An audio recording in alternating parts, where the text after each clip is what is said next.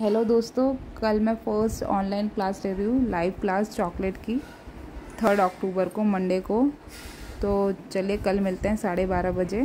कल मैं आपको दिवाली के लिए बहुत सारी चॉकलेट्स बनाना सिखाऊँगी और बहुत सारे डिफरेंट फ्लेवर्स की चॉकलेट सिखाऊँगी तो कल मिलते हैं। तब तक के लिए मेरा चैनल सब्सक्राइब कर लीजिए।